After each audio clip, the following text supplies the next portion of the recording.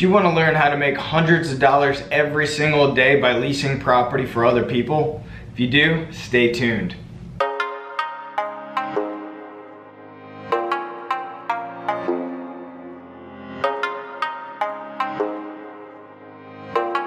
Hey, what's up? Steve with Steve Invest, helping real estate agents, investors, and business owners grow toward financial freedom. All right, so let's jump in. First off, full disclosure, I just want to let you guys know that this is no way intended for get rich quick. This is a long-term play. It does take some time, but if you put the time in, you can definitely have the fruits of your labor and residual income from this. Uh, quick story, uh, when the real estate market crashed, my sister and I, we really had a, um, a, a tough time in terms of real estate sales. Our sales did drop down because you know there, there really wasn't anything selling at the time. One thing that really um, ensured our survival was leasing property for other people. Um, thank God that we had this in place. It was it was there when we needed it and uh, provided us easily six figures uh, for the first few years, especially during that real estate crash. So I can tell you that um, despite what what happens in your real estate market, rentals are always going to be there. And if you guys are representing landlords, you're always going to have this residual income. Also, you're going to want to watch this video all the way to the end where I talk about exactly how you can make, you know, 20, 30, 50, even $100,000 more uh, in additional revenue just by being a little bit creative and uh, staying in front of this database of landlords that you have at your disposal. Now there's two ways to go about this and it's really going to depend on your state, uh, state regulations as well as the brokerage you're with. The, the two different ways are tenant placement as well as full property management. Now tenant placement is the opportunity where you really don't have to deal with the maintenance calls and uh, issues like that and collecting of rents uh, you're essentially placing tenants and collecting usually equate to one month's rent. Um, this isn't necessarily the, the residual play that you want to get yourself into, but if your brokerage doesn't do property management, then you might not be able to collect rents and do full property management.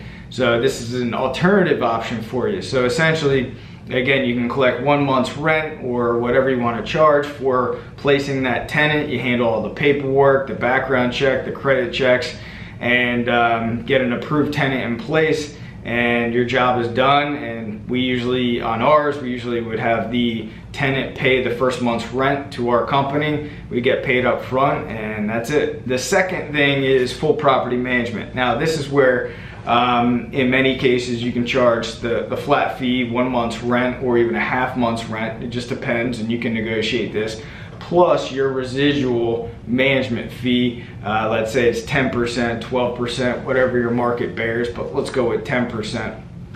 Um, this is where you're going to handle all the maintenance calls, um, as well as collecting the rents, making sure that people are paying on time. If they're not paying on time, you're going to have to get involved. Um, one thing that you could do to really alleviate time is to get a good um, contractor on your side or, or even um, company that is well versed in handling uh, maintenance calls and so forth. Uh, there's several local companies here that we use that you could actually um, have all the phone calls from tenants go directly to them because a lot of times they're 24 hours, especially if you have issues with you know water leaks or HVAC isn't working uh, stuff like that. So it's it's really um, it's really imperative that you align yourself with a company like this, and then from the beginning you make it known that all tenants to call this company for any major uh, after hours calls, and then also you're going to want to get permission from the owner and give this company permission to handle anything that's going to be say under $500 if it's over that to call you directly to get further permission of uh, any expenditures that are going to be higher than that.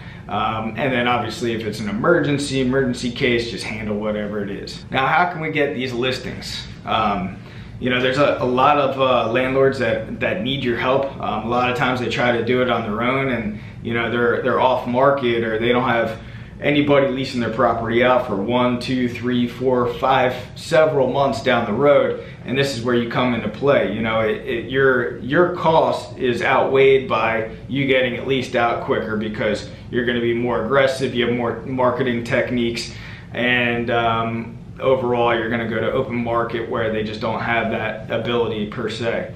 So um, you're gonna wanna make sure that you do have a good presentation to present to these people. The one thing that we did, and it worked out really well, was we concentrated in areas that we knew that there were more, um, more tenants living in certain communities. So what we did was we would mail uh, to absentee owners and we would just get a list uh, from Realist. It's a, it's a platform that you guys probably have as well. And you can find out all the absentee owners and mail just that list. So say a community of 300 to be narrowed down to like 50 people that uh, 50 owners that were absentee owners that they might be using it seasonally, but odds are they're renting it out. So we would just keep them on a database of mailing them every quarter. That worked very well for us. Um, another thing is you can reach out to real estate agents who have listings, properties listed on the market for sale, say over 250 days, probably overpriced. Now you can call these real estate agents and let them know that you're in the business of renting properties, see if they'd be willing to reach out to their owner, to their seller, and see if they'd ha have any interest and an alternative and to lease their property out instead of selling it or still keep it on the market for sale. in this relationship, you can offer that real estate agent uh, a nice co-broke or even the first month's rent or the flat fee that you guys charge in the beginning to incentivize that agent to go ahead and reach out to that owner. What does that agent really have to lose? You know, if you're on the market for 200 plus days, odds are you might not get a single dime out of it. So it's not to hurt. It's also to show that that agent is getting creative with that seller and that seller should appreciate that. So um, this and this primarily works for properties that are vacant. Obviously, if somebody is um, living in the property, they might not be as much of a rush or whatever the case is, but vacant properties is to be the ideal. So get on your MLS, search for vacant properties over 200 days, 250 days, and see what comes up, see how may come up on the market. Another way to get listings is um, driving around. I mean, you're gonna see for sale or for rent signs um, in your local market, uh, especially single family homes. And also you can concentrate in really any areas that you want. So um, your, your fees, your 10%, do you wanna make 10% of $1,000 or do you wanna make 10% of $2,000? So it just depends on your market and how much you wanna make per per deal. Um, a lot of times the higher rent properties maybe even easier to manage in your market as well. So these are some of the things you're gonna take in consideration. But you can just drive around and find for rent by owners all over the place. There's also uh, rent.com. You can get on Zillow as well and some of the other sites to find um, any owners who are trying to rent their properties out themselves. Give them a call and see if you can offer their services. Um, I highly recommend getting on the phone and calling. You're gonna increase the amount of properties that you're gonna get in a timely manner. So, you know, if your goal is to get uh, 10 properties under your belt in the next 30 days, you know, get on the phones and call. Based on this and based on the thumbnail that I provided, that's only based on 100 properties. All right, so let's run the numbers based on 100 properties. Uh, let's say the average rent is $1,600 a month. 10% is 160 per unit times 100 properties is 16,000 per month. Uh, over a year's time, that's 192,000 per year. That equates to $526 per day. Also, keep in mind this doesn't take in consideration uh, the flat fee that you get for initially leasing the property to new tenants. All right, and another thing is um, a way to really generate more revenue for you guys is to stay in front of this clientele. Uh, twofold, you want to stay in front of the tenants, the tenants who are renting these properties. You know that becomes part of your sphere of influence, and you're going to be able to see other videos that I have on that as well. I'll put some links below for you. Um, so you're going to stay in front of these people. These people might be buyers in the future. So, you know, give them a call maybe two, three times, maybe every quarter and see where they're at. If you have 100 properties, that's 100 tenants that you're dealing with.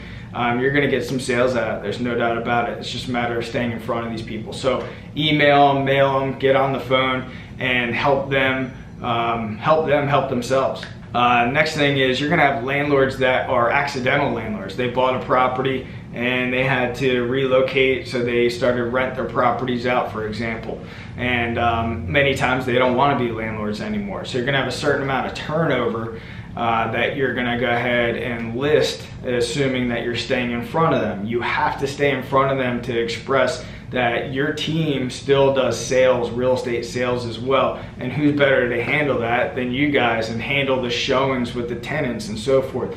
So I can tell you it's a very easy sale when you're staying in front of the landlord and they're contemplating on listing the property. It's usually pretty easy to get those listings, but you're not going to get them unless you're staying in front of them because many landlords think that if you're a leasing agent, that's all you do. And you have to express to them that that's not all you guys do. Your team is well versed and you guys can handle the sales as well.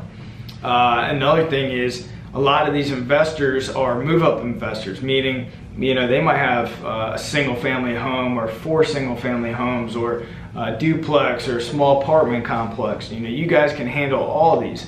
Um, but anyway, they they might be the uh, they might want to grow their portfolio. So uh, it's very important to stay in front of this group as well. Um, all of your landlords you want to stay in front of, but this group you want to, when you're first taking the listing, you want to sit down with them after you've gotten their properties leased out and show them what they what you could do for them. You want to sit down with them, bring them out to coffee or lunch, and talk about their portfolio. Talk about what um, what what their goals are for their real estate portfolio. Um, I've had many clients in the past that went from, you know, uh, even a small fourplex to 50 unit apartment complexes over the years. And I was part of that. I was part of those transactions. So we had multiple transactions over the years for just one client. Also, you're gonna wanna educate them on 1031 exchanges. If you don't know about 1031 exchanges, be sure you get uh, a local rep that can help you guys out. Uh, we have a handful here locally that um, that will sit down with our client together, and we can all strategize and talk about it. Because a lot of investors they don't know that they can defer paying taxes on their gain and keep moving their port the growth of their portfolio higher and higher. So uh, it's imperative that you guys stay in front of this group. If you don't, you're missing out on a ton of money. You know, I talked about uh, the residual 100, 192,000 off of uh, per year off of 100 properties, you know, you guys could potentially double that if you're staying in front of the landlords, the, the landlords who want to grow their portfolio, as well as the tenants. So there's a lot of sales transactions that can come out of this. Um, also, those groups that I just spoke about, they become a huge referral source for you as well. You know, who who do they know that's looking to buy or sell real estate? So again, putting them part of your database and staying in front of them on a consistent basis is only going to generate more transactions for you guys. Now, this might be a little far fetched, a little far out there, but understand something. You don't even have to own the real estate brokerage in order to sell that clientele. For example, let's let's take the 100 properties bringing in $192,000 a year. You could potentially sell that clientele to another buyer. Um, you can sell it to another property management company if you're burnt out and you want to move on or you want to retire. So if in the future your goal was to sell it, you know, based on a three times multiplier, uh, three times 192,000 is 560, $576,000 that you could potentially walk with. Um, I know here in, in Southwest Florida, there's a, a, lot of foreign investors as well that are scooping up a lot of uh, vacation rental companies um, which we're going to put a link for that as well, another video on that, as well as uh, property management for annual leases.